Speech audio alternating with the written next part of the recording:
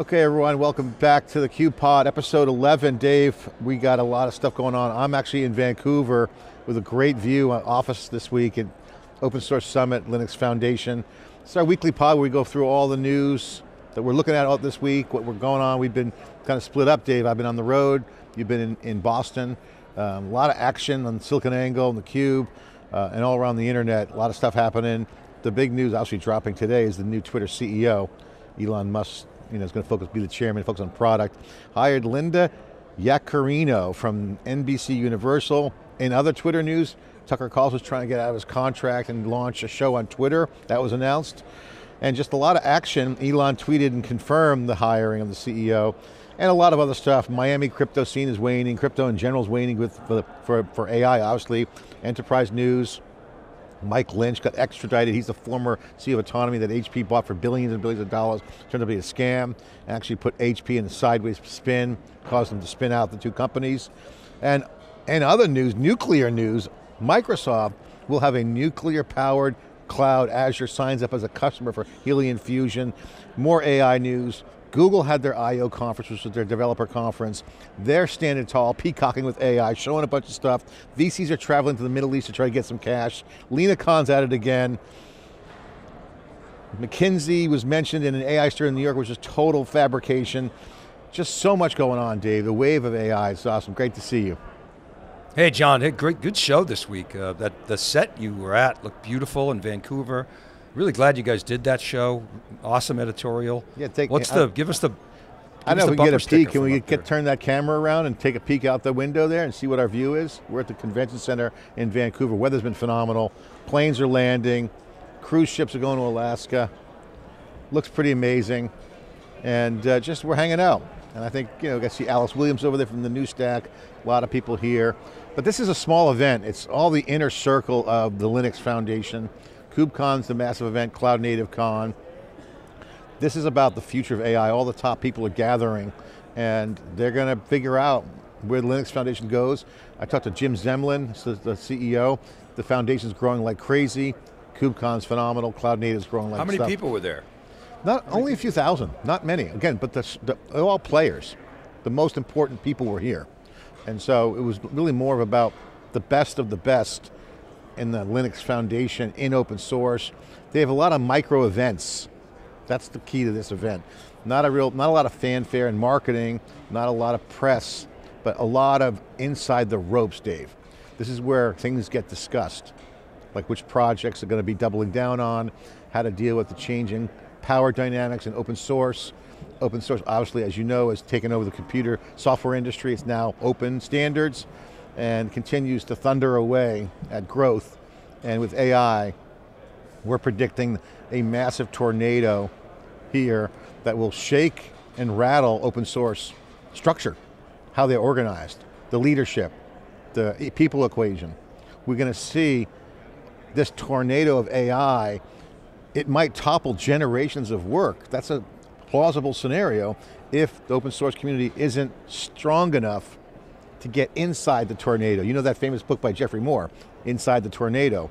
That's got to get inside that tornado. Otherwise, if you're not, you're going to get spun out and just thrown around like a like a like a car and a house. Well, you saw, you saw IBM, which is really, you know, obviously a global system integrator, one of the top ones. I mean, IBM in many ways is a consultancy, but they, it was, I think it was this week. They said it might have been last week. They said they think they can save 7,300 jobs with AI, replace or save, or basically through attrition. Now they said AI. They didn't say Watson. I don't know if you noticed that. They said AI. then they announced they announced Watson X this week at IBM Think. Which, I mean, what that, that was the Which I didn't worst. go That was the worst decision IBM has made in a very, very long time. Calling What? their AI Watson is a mistake. Watson, as we've been covering, we had a lot of fanfare. They had the chess match, and essentially didn't really make it. They overpromised it. It, it falls under the category of the Osborne effect. That's what Charles Fitzgerald, our friend Fitzy, calls it. Osborne effect was obviously overhyping a product, Osborne computer, if you remember back in the day, Dave. yeah. So IBM, Watson is probably their biggest public failure of overpromising, under-delivering. So AKA the- 2011. And it's, it's just, why would they do that? Two- Watson X. like- 2011. So just people don't know, actually, it was probably around 2007 that um, I think it was 2007. Maybe it was even earlier than that. IBM's you know Blue Gene or super supercomputer Blue Gene or whatever they called it beat Gary Kasparov at chess, and then in 2011. IBM supercomputer beat Ken Jennings at Jeopardy. It was an amazing moment. Yeah. Uh, basically, you know, Jeopardy won. Ken Jennings was humbled. Ken Jennings was, was awesome. By the way, he's a Cube Cube. alumni. Yeah. I know. He was clapping, like bowing down, I'm not worthy kind of thing. And at the time, I remember thinking, wow, IBM is going to run the table on this. And then they marketed the hell out of Watson. And then, you know, it just became this really complicated thing that drove a lot of services for a while and a lot of failures. And then they got left in the dust. I, I don't know why they would. You know, I wonder what would happen with. Watson Uh, if Bob other than- Picciano was still uh, in, uh, in charge there. Yeah, so hold on. Yeah, Bob Picciano's a rock star, but but uh, I mean, I don't know what why Watson, other than the fact that you know Thomas Watson, obviously great, but but boy, it, relating that to AI, that just seems like Yeah, a yeah. marketing fail. Bob Picciano was, you know, but the problem with Bob is you know he was definitely a technical you know leader, uh, but you know I think he um, he just didn't play the game well enough. You got to play the game at IBM to get you know promoted to the top. And Ginny played it very well. She just didn't play her hand well as a CEO. She Yeah. just took the Sam Palmisano playbook and repeated it. Well, let's now, get let's get into let's get into IBM and we get into the enterprise section because there's a lot to talk about that IBM think that happened. And uh, you know, we decided not to not to go this year. We did, we went to uh, we went up to here up in Open Source Summit. A lot of action. Again, not really newsy, but a lot of movement. So what's going on here at Open Source Summit will change the game. We'll talk about that later. But I want to get into the top level news because Elon Musk is back on the on the roster. And that is, he named a new CEO. He's been talking about this for a while. Put out a tweet yesterday saying it's a woman. She's going to take over, and of course the press went crazy. Wall Street Journal broke the story first. Linda Yaccarino with NBC Universal is going to be the CEO.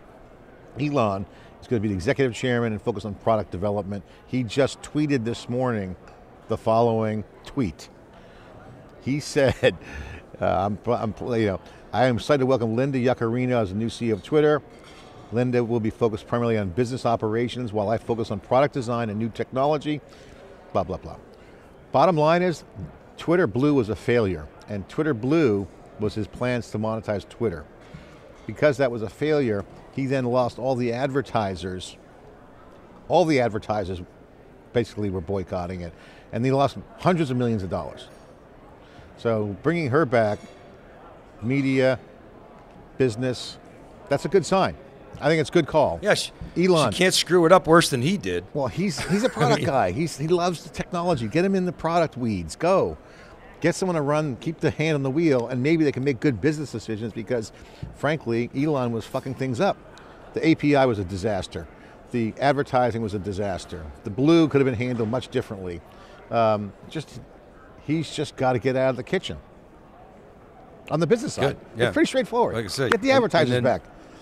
And then, well, you think you think Tucker Carlson is going to help get advertisers back? I mean, they were leaving in droves from Fox. Isn't that really ultimately why he got fired?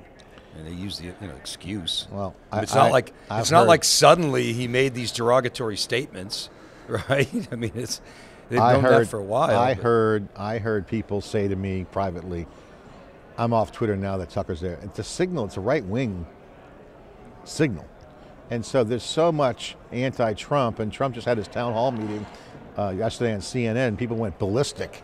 They called for CNN boycotting. I saw just rants online about this, and Trump's out there doing the same old thing. And he's you know, and CNN was taking a lot of hits. And Anderson Cooper went on TV and said, "We got to show this." So you know, you have this vibe where Twitter could be this right wing. This is what people are painting Twitter to be, right wing. When I think Elon and, and folks are just trying to make it free speech, and and I- everyone's saying, "Hey, that's bullshit. It's just free speech. It's really a right wing place." Oh come on! I mean, Uh, people I are so weird. I mean, I watch Tucker, Tucker Carlson. I'll watch it, and I'll, you know, I'll yell at him like, "You're an idiot." But but I actually listen to him. I mean, I mean, sometimes he's an idiot. Sometimes he says things that I say. He's a "Hmm, okay, performer, Dave. We'll see think." how he does. If he know, if he brings his saying, Fox my- News show there, then it's going to be definitely right wing. My, my my point is, I would never not go on a platform because he's on it. Now, if it were if it were all you know right wing propaganda, yeah, I I probably just wouldn't pay attention to it. But you know, I think there's a mix of content on Twitter. I mean, it's to be a shame if it becomes, you know, this right wing cesspool. I, I would like to see some balance in the news. I mean, you can't you can't get balanced news anymore. You got to you got to flip channels, and it's just it's all one sided. Yeah, well, I So- think I, I think it's not bad personally. Why would you not grab him? He's massive brand recognition. The question is, will he behave differently under full clean sheet of paper, not under the loaded gun to his head at Fox News, which clearly has an agenda to give the people what they want, which is feed the right wing. I mean, it's it is. You think about it. You He think might he might be liberated. You- But you think about these prominent, you know, folks that have left. Look Bill O'Reilly. You know, you never hear from him anymore. You know, we'll see if Tucker Carls- Carlson can make it. You see this sometimes, like in, in sports radio, right? Big names get fired, even locally, and and then you know they say we're going to come back online, and they never do, right? I mean, what about uh, uh, uh, what's her name? The Megan, Megyn Kelly. Megyn Kelly, yeah. Okay, you know she made some big. Nobody pays attention to her anymore. I shouldn't say that. She probably has a big following, but No, I they, mean, all, they all have subscription, little niche Substack-like deals. right? But not my, Substack. My, but my like point do- is my my point is that Fox had such a presence. That these that these people, their ascendancy coincided with, with as a result of Fox, and now you just don't hear much from them, or you know you see them groping around. Um, but so. I, I don't know. It- I think it's actually a really interesting move. I think it's a smart move by Tucker Carlson to, to, because Twitter is this global platform, and it'd be a shame if people just leave because he's on it. I would like to see a point counterpoint. Bring Anderson Cooper on on Twitter as well. Don Lemon. debate. He's, avail- he's available. John, Don Lemon is the right example. uh, Anderson Cooper. Don Lemon would be the perfect example. Get Lemon and Tucker going at it. Yeah, you know, Bill Maher, bring him on. I'd love to see it. I think he's bring smart HBO deal. people debating. Yeah, That's I, right. I agree. I mean, I think let, look, I'm going to let the social experiment. I love Twitter. I've always have loved Twitter, so I'm a loyal Twitter user in the sense because it's just become habit for me. Um, a lot too. of people, a lot of people aren't on Twitter. I, I mean, I just, know, I like Elon what he's doing. I like the balls he has. I like the fact he's putting it out there. He is weird, but he's that's who he is. He doesn't hide it, you know. And uh, I thought his Bill Maher interview was pretty phenomenal, and Bill Maher was giving him props. At least you're building stuff. Kind of sub sub gesture against. Uh, Zuckerberg. so a lot going on. Um, you know, we saw a lot of, of AI action, um, and there's news here about Miami crypto scene is waning. Wall Street Journal had an article. Um, Dave, I don't know if you saw this. Uh, um, Yeah, I did. well, so yeah, because mayor of Miami, you know, last year was claiming Miami is the crypto capital of the world. Now everybody's like, you know, the the, the conference this year isn't nearly as well attended. You know, I, it's interesting. I mean, the wild card to me on crypto is the U.S. government. You know, Gary Gensler and the U.S. government trying to kill crypto, which I think is a huge mistake. I mean, I'm a, still a believer in you know, people talk about blockchain. Oh, I, I, I don't know about crypto, but I believe in the fundamental technology of blockchain. That's what everybody says. I'm like, I'm kind of the opposite. I'm, uh, you know, I have questions about the fundamental technology of blockchain, but I love crypto. I love the gamification of crypto. I love the software innovation and software engineering of crypto. And I think it's a shame that the U.S. government, instead of putting down guardrails and, and policies, is trying to kill crypto. I think that's a huge mistake. If anything, this free money, the inflation situation that we're in now, the $31 trillion of, of debt, which is actually really, if you look at unfunded you know, liabilities, it's more like 90 trillion. That is a poster child case for crypto and Bitcoin. So I'm still a believer. I just the wild card is the U.S. government. If the U.S. government really tries to slam it down, know, Chinese government tries to slam it down, you know, it might have to go underground. But I still think the innovation curve in crypto will meet AI, and I think it will make a comeback. I mean, right now you see Bitcoin tried to get up through 31,000, couldn't make it, and now it's diving back down. I think it's going to go back down to 20,000, maybe even below. Who knows? But I'm still a, believer in the fundamental concept of Bitcoin as a store of value, Ethereum as a place for innovation. You make the point, and you've made it from day one of this pod, that people are leaving. The best and brightest engineering minds are leaving crypto, going to AI. I have said I think those two worlds will come together. They haven't as of yet, but we'll see. it's complicated because you have, you know, I mean, you're talking generically, you know, about crypto and Bitcoin and blockchain. When in reality, there's a lot of fraud that has developed, underbelly. In all growth markets have an underbelly. That's what's killing crypto, in my opinion. Not so much that AI, but AI is shining new toy. There are some real technical things happening very fast in AI that are intoxicating to the folks that get attracted to crypto from the alpha nerd standpoint. There's stuff going on around databases, infrastructure, things like vector databases and, and embeddings, semi-structured data and unstructured data getting indexed. You have a lot of great stuff going on with um, you know, foundational models around audio and video. You're seeing Coca-Cola was the first brand to do a commercial with AI, which is really cool. All done with you know, um, stable AI, and you know, you got Midjourney kicking ass. I mean, so many fascinating things going on that's integrating at a high pace. That's why I call AI the tornado. Now, I think blockchain, distributed ledgers and blockchain is definitely going to be valuable. The answer is energy DeFi? question. There's an energy question out there, obviously. And by the way, we'll talk about that AI energy issue going on now. We, we just reported yesterday for the first time. But Bitcoin and Ethereum are cryptos on blockchains. Okay, okay. Shit coins and the NF, some of these NFTs out there are nothing other than just crypto to tokens, coins. So there's no underlying technology really. I mean, you have immutability levels, but you know, really, I mean, a, so I think let's stall on cryptos, the combination of AI being great, funding and implosion on the capital markets in crypto, and the fraud's got to get just got to work its way out of the system. It's like eating a bad so, uh, bad meal, right? You get food poisoning, you just got to get it out, right? Just so rest. Okay, so so I got. I mean, you mentioned the crypto, the fraud in crypto. So you mean you mean unlike the U.S. banking system? You mean unlike mortgage-backed securities?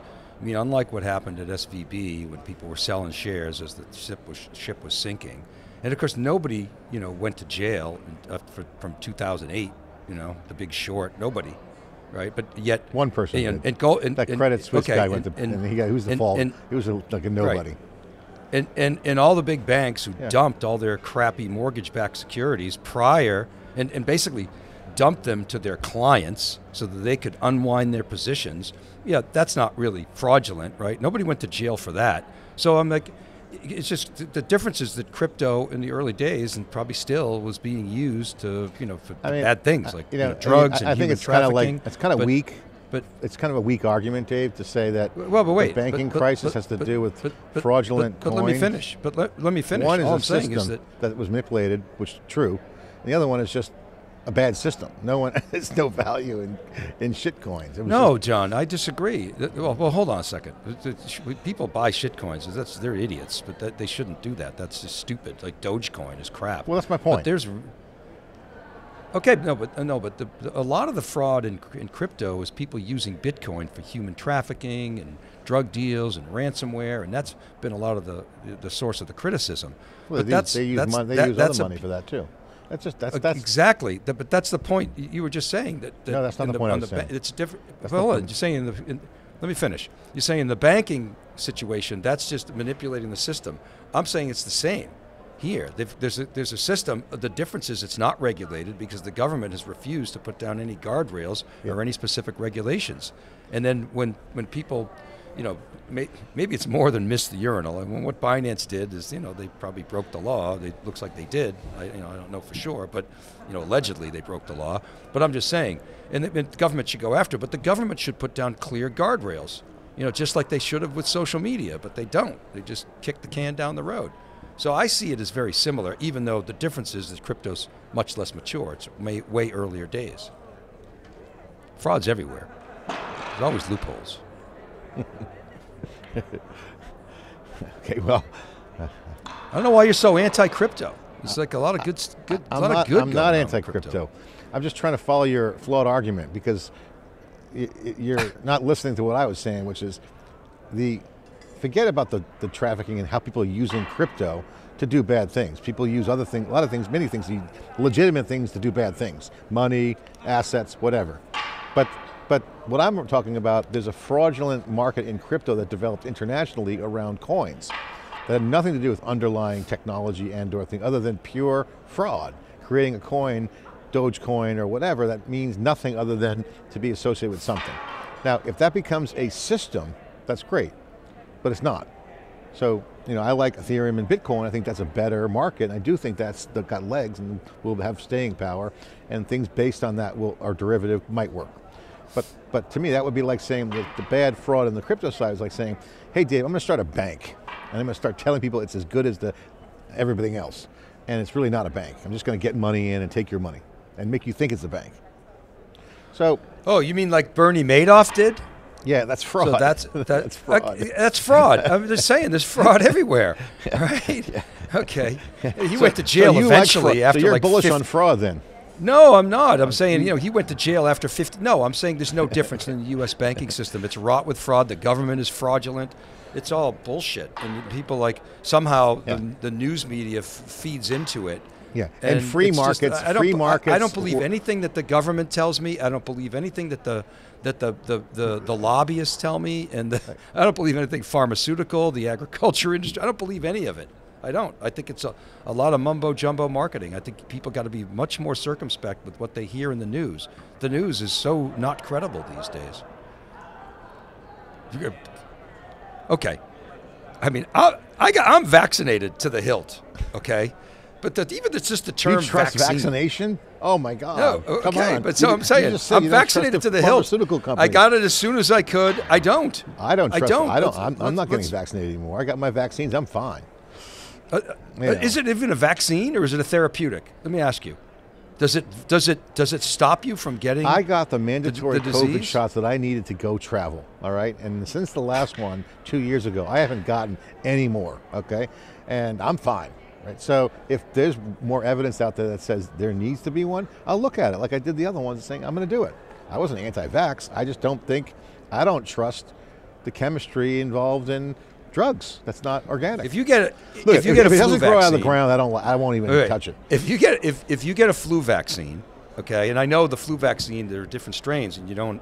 It doesn't always. It's not always effective against the the strain that it's not you know designed to to protect you on. But if you get a flu vaccine and it's you know and that that strain attacks you, you don't get the flu because it's a vaccine. You're less likely to get if the flu. It's not a vaccine. No, the flu vaccine's a vaccine. If you get if you get the measles Plenty vaccine, plenty of people get the flu in, when they get the flu vaccine. It's it's because a it's a shot. different str- it's a different strain of the flu. If you get a measles vaccine, and I'm not a doctor, so I'm just kind of spitballing here, but yeah, if you get the measles vaccine, which we all did when we were kids, and you come in contact with somebody with the measles, you don't get it. You don't get the disease. But but COVID, if you got the COVID vaccine, you you could still get COVID. I got COVID. I got the vaccine. I still got COVID. You got Yeah. the vaccine. You still got COVID because it's not a vaccine. It's a therapeutic. And there are plenty of therapeutics that were effective against coronavirus, but the pharmaceutical industry wouldn't have made a lot of money if the government let them do that. All right. So Well, let's get didn't. let's do an enterprise news section. Then we'll come back to the big story of AI because I think it deserves a conversation. Let's move off of the of the crypto Yeah, good idea. government conspiracy theories, different you know. You know. I'm, I'm not a conspiracy theorist. I just don't believe any of it. I think it's all lies. Okay, we'll come back to that in, in the rant section. I think I definitely could, could riff I think. George. I think George Carlin was right. You know, just anything they say, just question. We'll, we'll believe people with no credibility, though. It's the same thing. So it's paranoid. Anyway, enterprise news. So there's some old school news that, that our audience, our fans might know in the enterprise. Mike Lynch, the founder and CEO of Autonomy, a company that HP bought, I don't even know the amount, Dave, but 20 something billions of dollars. eight eight billion. Eight billion. Eight billion. It was a big purchase for HP before HP split up into two companies. We were on the ground. We were front row seats for this. Mike Lynch is in the UK. He was heralded as the UK Steve Jobs. He's a genius. He got convicted. They're extraditing him to the United States to face fraud charges. Okay, Reuters is reporting this. This is just interesting because finally he's coming back and he's going to get up for trial. It's, something he thought never could happen he took down HP, basically. In all their turmoil, this is what made them split up. It'll be interesting to see what happens. Um, that'll be um, a, a reliving of those 2014 years, around that time when HP was going through that that uh, identity crisis. Who are they? Are they enterprise? Are they consumer? They ended up splitting the company. Meg Whitman was the CEO at the time. It'd be very interesting to see that. No, no, no, no. It was um, Leo Apotheker did the deal. The Leo Apotheker. Yeah, but he, he Meg, Meg had inherited, inherited autonomy. Yeah, yeah. He inherited, but yeah, but Leo Apotheker did the deal. So after he tanked SAP, and then then basically got fired and left with like a huge severance package, he then went on to tank HP and left with a huge severance package. Like in a matter of you know short, few short years, he walked away with tens of millions of dollars, and basically uh, tried to ruin two companies. It was like He did. unbelievable. He Yeah, didn't try. He did. He, he did. He succeeded. So that's interesting. We're going to follow that and see. The other thing that's happening is that Microsoft did a deal as a customer, signed up for Helion Fusions, a company that's doing nuclear power and to fund their, to power their data centers. So uh, Fitzy over at Platformonomics talks about this being the Microsoft's nuclear powered cloud. Dave, that's a CapEx opportunity of epic proportions. Nuclear Where are you powered on cloud. Where are you on? Where are you on nukes? You know, I'm, I, I I'm grew up it. in the '70s. i I'm grew up in the it. '70s, and, and, and in my I remember my thermodynamics professor in Union College. Um, he kind of drilled into our heads how bad nuclear is. I know it's made huge strides and it's like so much more efficient, but his whole thing was, you know, the nuclear waste. You got to store this stuff, and it lasts for thousands and thousands and thousands of years. And so he was always drilling into our head how bad it was, and that really kind of biased me against nukes. Maybe I know there's space. a lot of people that are for it. Store it in space. Pollute space. Yeah. Okay. There you go. yeah, no, this is- The phantom zone. yeah.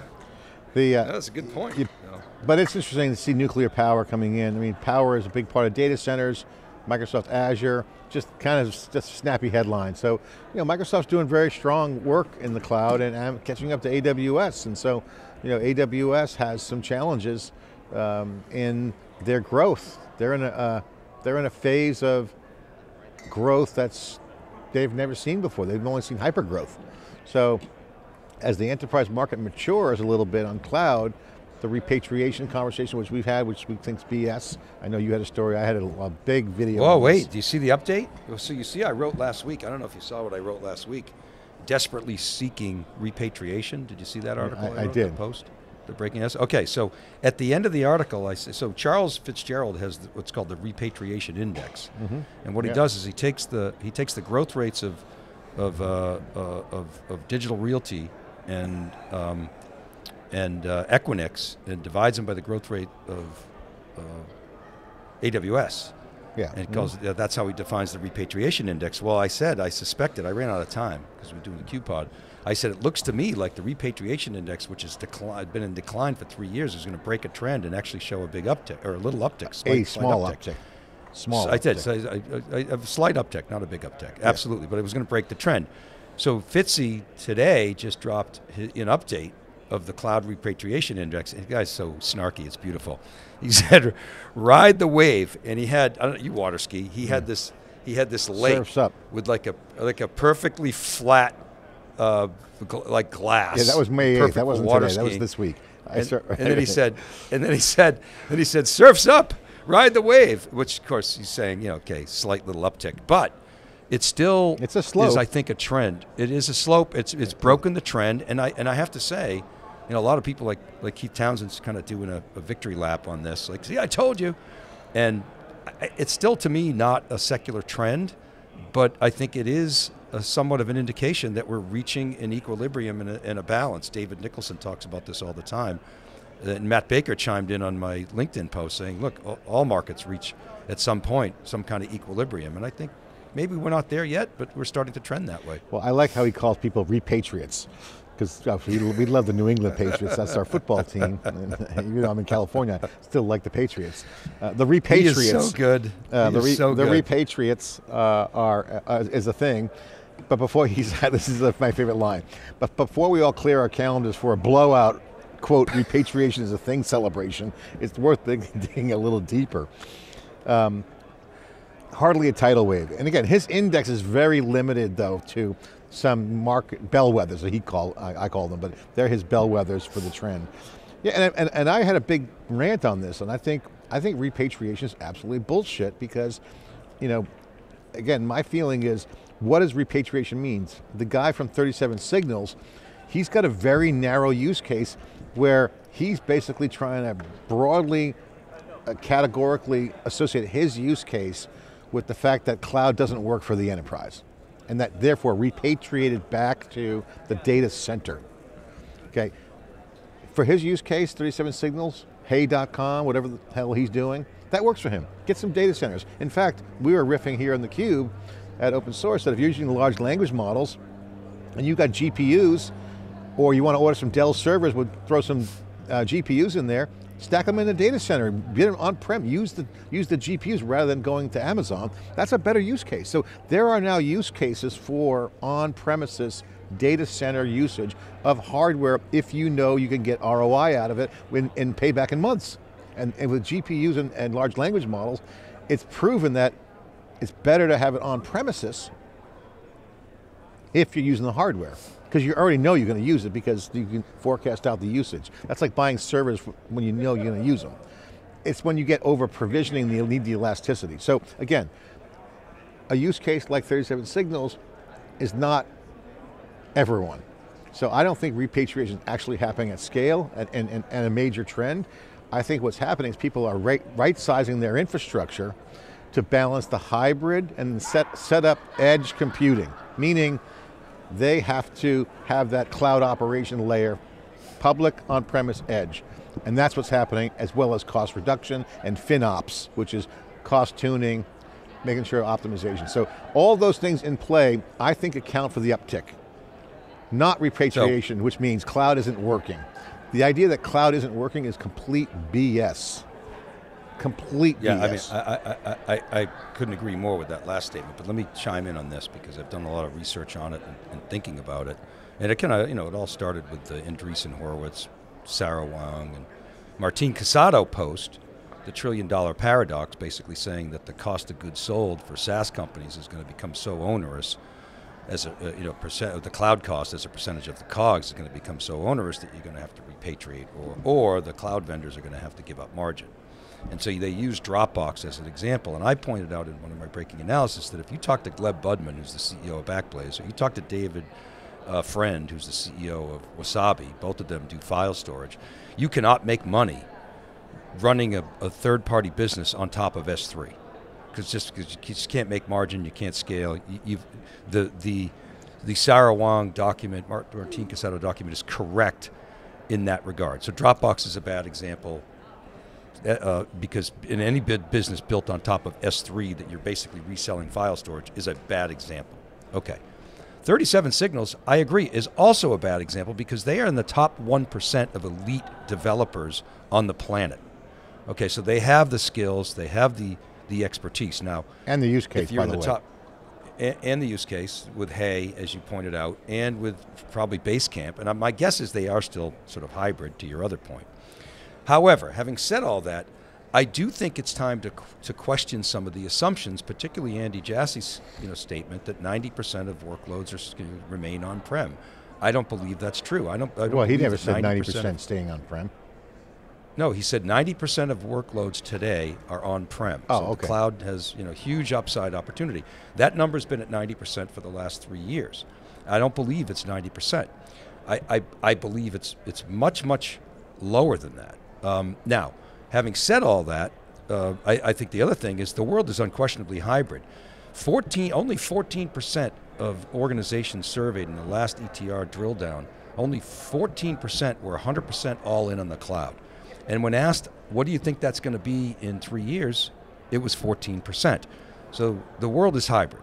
There's no question about that. The right question that Lori MacVitty asked in her post is which workloads and what percent of the workloads are going to stay on prem versus move into the cloud? And I think an increasingly large portion is moving to the cloud. And so that begs the question okay, whither the future of cloud companies, particularly Amazon? And I think the future is not so much lifting and shifting IT, I think it's new use cases like satellites, like edge, all these really new, like robotics, all these really new innovative use cases that they're driving. And of course, generative AI. Don't forget new startups that are coming on board that are cloud native out of the gate. So the percentage will increase as new business comes in on the cloud. So I think that 14% probably represents a lot of the cloud native born in the cloud. Um, and that's going to be interesting to see as that number increases. But yeah, I think I Yeah, think good point. I mean, That's I, a good point. I mean, I think the enterprise is going to be in the cloud. You're Idiot, idiot not to be in the cloud. There's so many advantages, right? So security, but the on-prem's not going away. We've said this for years. I mean, we got. I mean, this is pretty, pretty much a dead horse as far as I'm concerned, Jay. We beat this thing. This is like they're not an issue. we, we are we are not repatriates. That's We are not that's for repa- we, sure. we are patriots. we don't We trust anybody. We are. Too bad our patriots are not looking so good. All right, so so that's the enterprise news. Obviously, IBM Think, that uh, Watson, we were riffing on that, and this will segue us into the AI. I think IBM's Think was a disappointment for me because I wanted to see more leadership with Red Hat doing so well for them, um, and their AI announcement really fell flat. It was a me too. Um, it didn't have any meat on the bone, I felt, and from what I could see, not a strong um, launch. Watson X, terrible name. They should sunset Watson, that has baggage, the Osborne effect, as we were talking earlier. Watson was the most hyped up and most under-delivered asset I've seen in IBM's history because it never, it, it was so, it was put out there so well as the number, the future. They ran commercials on you know, during the Masters. Great, You know, they- great commercials. I mean, they, were just, great they marketed the hell out of it, and maybe their thinking is they want to leverage that, but I, I don't know. I mean, maybe it's an insider view. I might be completely wrong, but I just didn't like it. I thought it was like very much down. Like it didn't impress me. Calling it Watson, um, and it just, it just felt me too. Now, that being said, IBM has so many smart people in there. If they can kind of clean up their focus, I think they could get something to the market, like Amazon. I mean, IBM has been doing a lot of research. Um, we covered that uh, at Ansible Fest, the AI piece uh, with with, with uh, Ansible was interesting. IBM Research. So if they can get that out of research into go-to-market product, I think IBM can pivot fast because AI is changing so fast, they can get back in the game. That's why I don't like the Watson name. I like to go with something new and fresh to align with the generation of developers that are doing it. It sounds old hat to me. And, and it wasn't a winner to begin with. So the only thing I could see is they just wanted to ride the awareness of the advertising. So I don't get it. Well, you know, a couple things.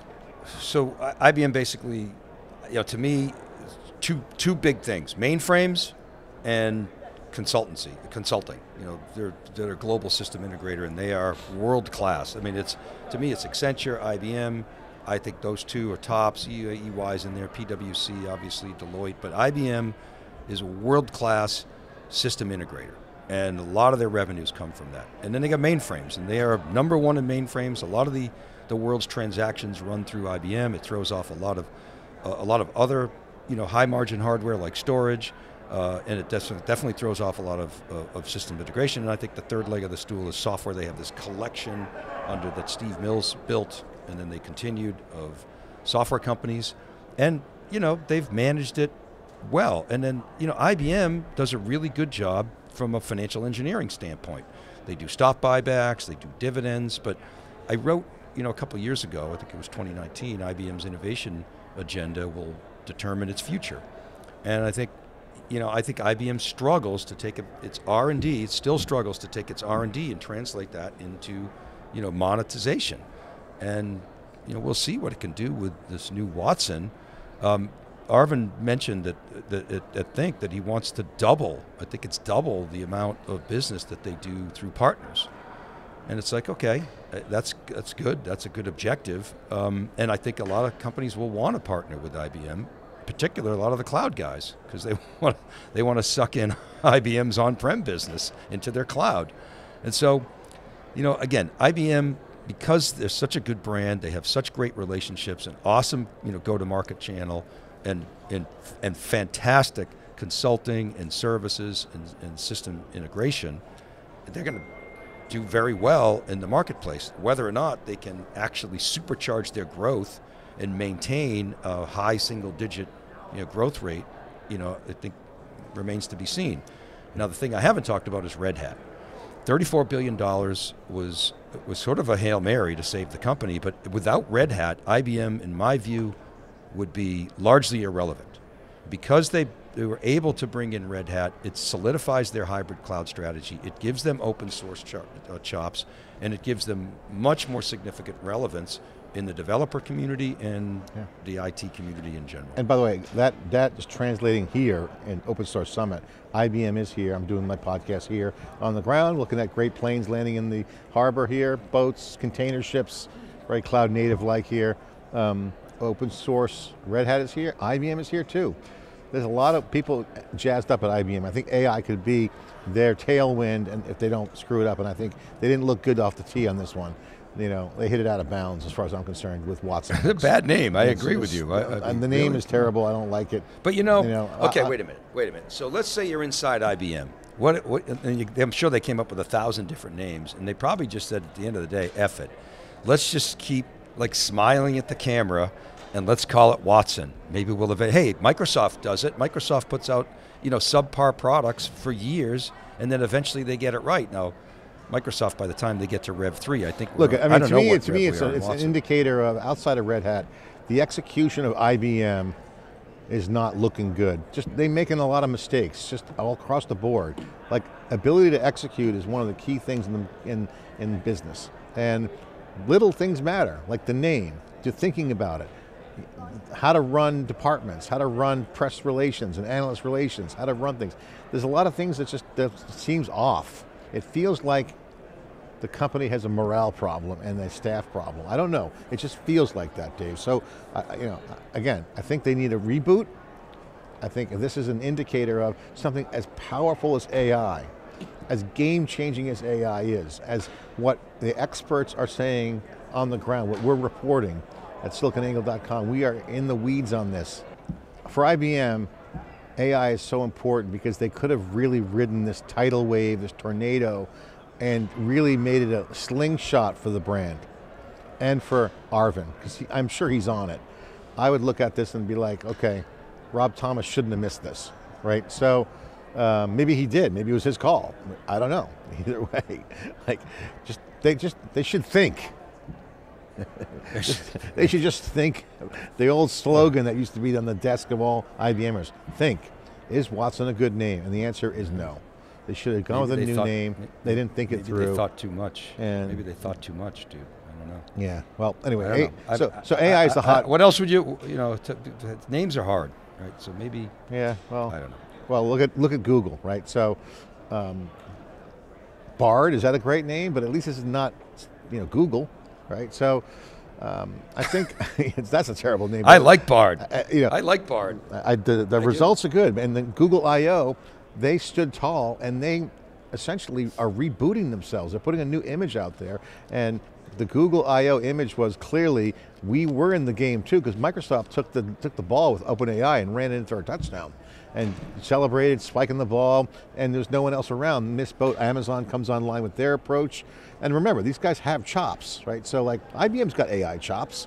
They just got to bring it to the table and I don't see it. So you got Google, uh, Microsoft goes first, Google orders a code red, Amazon launches their, their AI, now IBM and everyone else, we got our AI. So like, and then since the Microsoft announcement, you had Meta, Meta leaked their source code, okay, in AI. That goes into open source. Google comes out with Bard. There is an arms race right now and it's legit development. There's legit technology being developed in developers, small language models. So there's, a there's a huge tsunami of new stuff happening that's massively changing the game.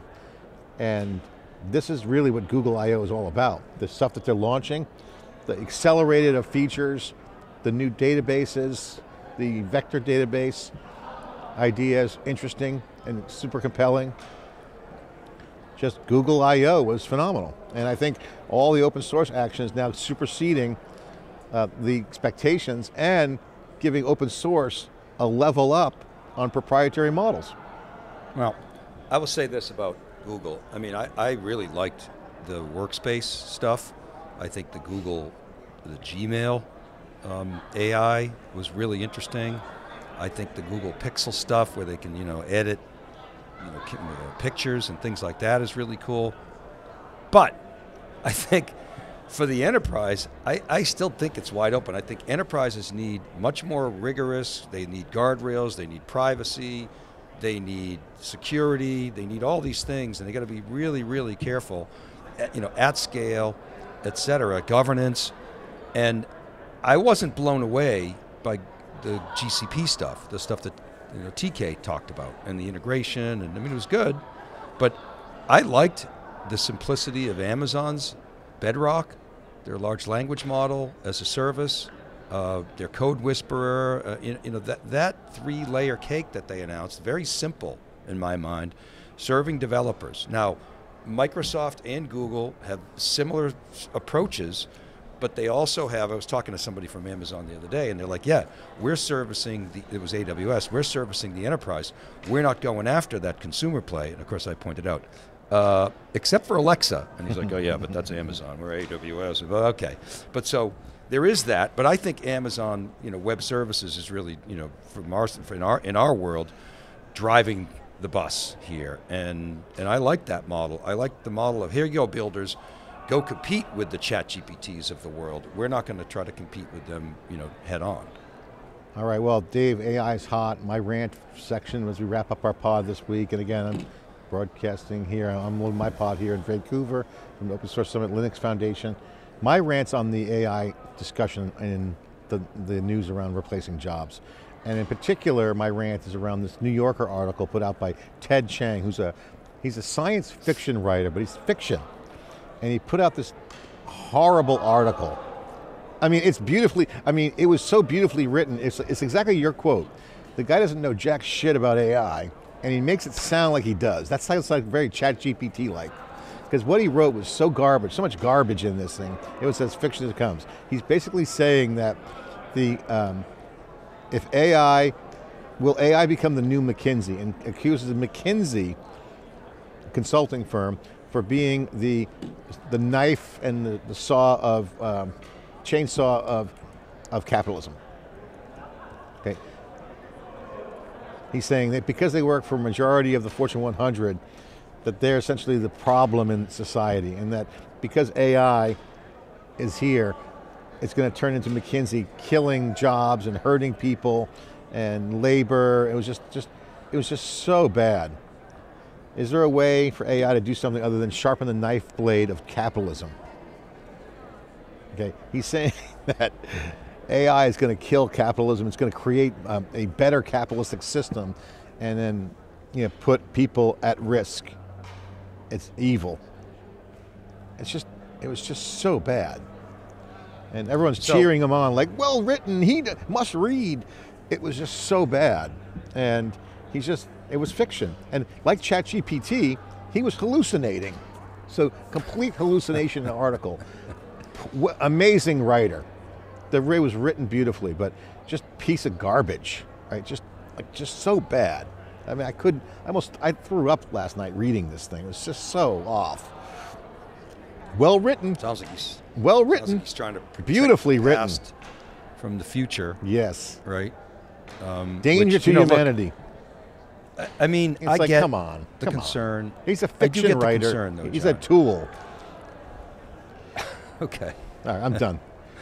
I no, I, I I get the concern, but look, technology has always supplanted humans, always.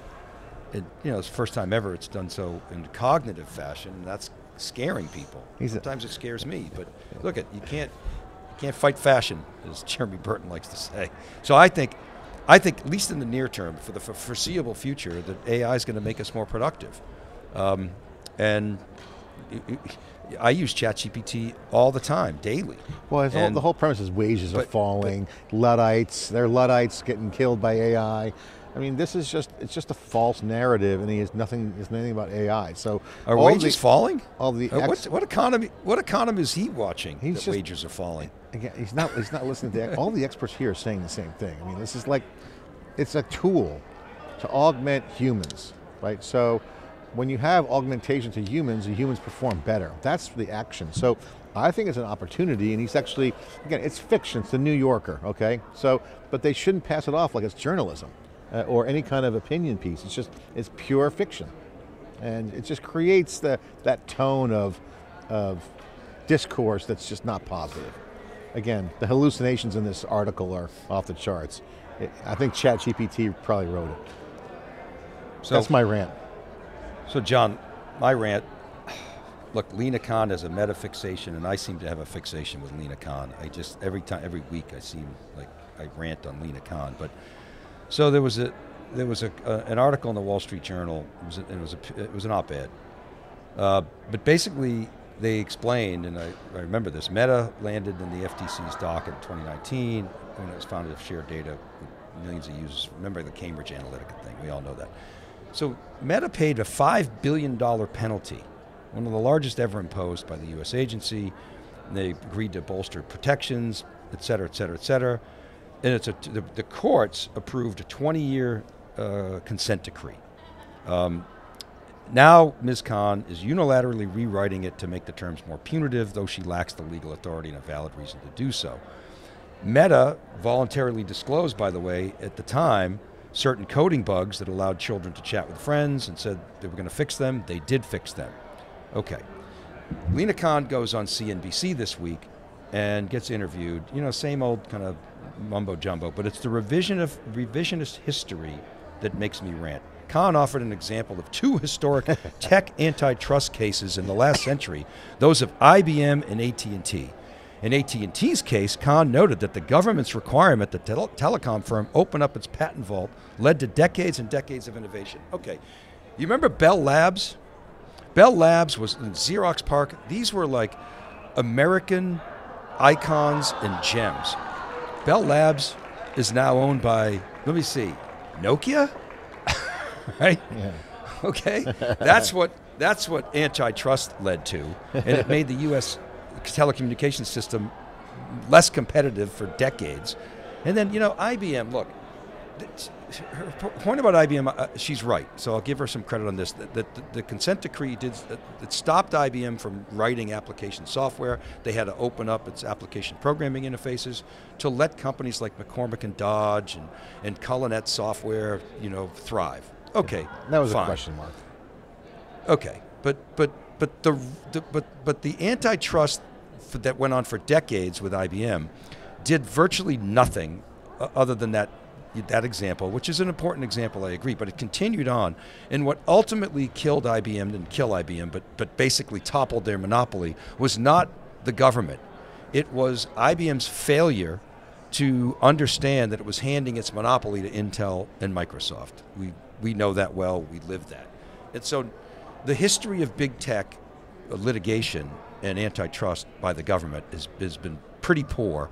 And I think what's happening now is essentially Lina Khan is kind of rewriting the rules on antitrust, not based on whether or not there actually is a law being broken. She claims we're just following the law, but it's the potential for competitiveness to be hurt. And her argument is that the government is fostering all this great innovation, and I would say to a certain extent that's true, but it doesn't have to come with an attack on big tech. That's all I'm saying. If they're breaking the law, they should be punished.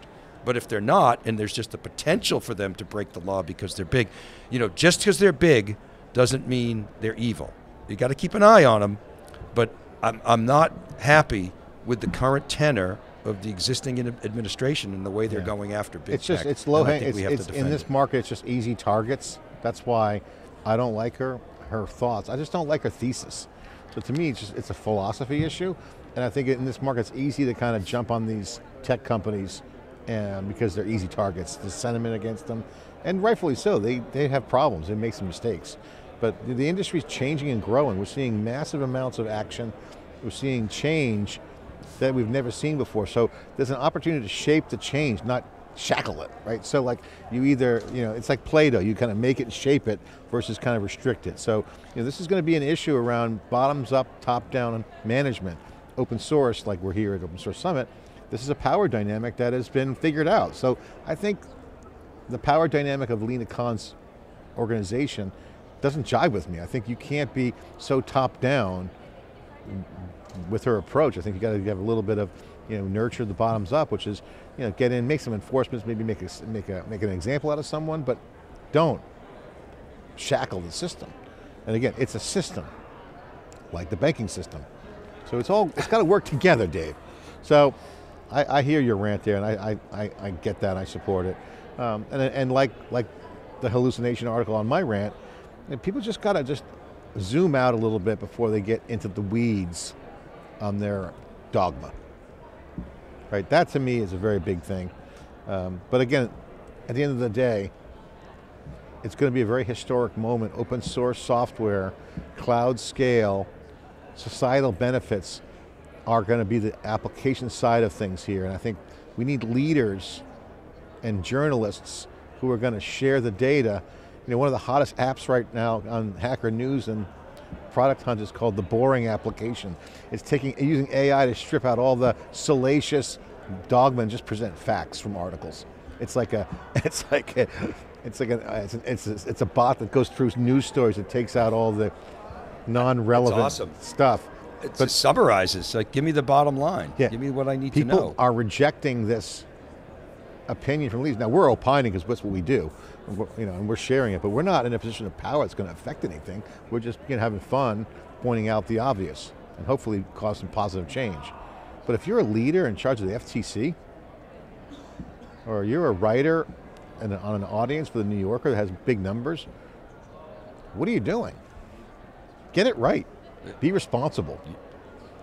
She's and implementing her philosophy and her dogma in, in, whatever means that she can. She, she got to that position sort of through the back door.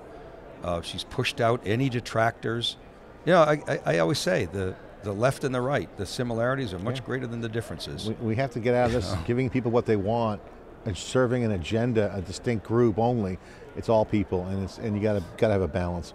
Well, Dave, that's that's going to wrap it up here. I got to get back to my show here, day three of the Open Source Summit by the Linux Foundation. They're growing extremely fast. The big story here is ecosystems are emerging within open source, which you know, creates a new power dynamic inside open source. Open source has leveled up to be an industry system, not just an organization for open source. It's become the standard for all software development, and that's why we're seeing AI advance so fast. More projects are coming in. You're going to see open source radically reform around the growth wave of data, AI, cloud scale. Uh, software development is going to be in all of our lives. It's going to have societal impact. Energy, there's big projects here for that. A lot of action. So I got to get back. I want to thank you for coming on. And uh, 11, we got to start getting some guests in the next 10 episodes. We'll see if we can get some more action going, lift, and uh, we'll see how it goes. Check out Silicon I'm going to go back to my newspapers, John. Dave, I was going to rant on the newspapers, but you know, that's yesterday's news. You know that's not relevant. news is ephemeral. You're right. Hang, whatever, whatever floats your boat. That's a dead tree. I like, I like to read online, but hey, each his own. We'll bring that. I up. do too. We'll, I like to read online Let's too. talk about who reads newspapers now in the next episode. Okay, because that's where that's very much how we differ. I don't read papers anymore. I used to love to read the Sunday paper back in college, you know, before the internet, but we'll hold it there. Go to siliconangle.com, thecube.net. Got a lot of stuff going on with theCUBE, global expansion, we got our AI product coming out, of course, more writers coming online at siliconangle.com, more analysts coming on theCUBE collective, our group we're putting together, so much action happening with theCUBE, uh, great tailwind day, we're excited to just keep it open, keep it free, and keep plugging away and doing Cube. A lot, lot more changes coming, so stay with us and, and let us know what you think about the podcast and share it with a friend. Thanks for listening and watching. See you next time.